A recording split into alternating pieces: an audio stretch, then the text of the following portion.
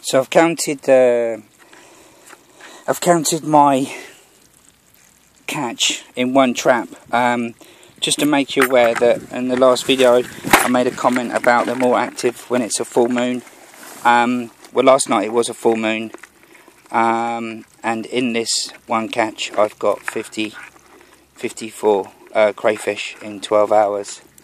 So obviously uh, it is quite clear that they they are more active at night time and, and more so on a full moon.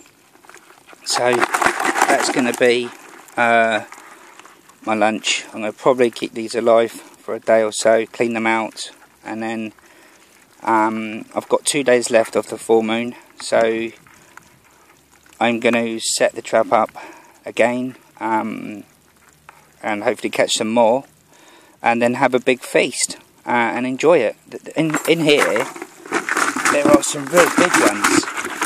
Just see if I can get some out. I mean, there are different sizes, as you can see. Uh, this is probably quite a strange, I wouldn't say strange, but, well, he's holding up. He's, he's holding up a few.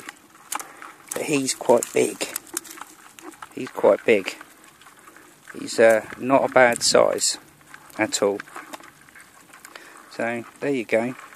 Before they all escape into the grass and hide, I'm going to um, put them all back in um, and um, take them out.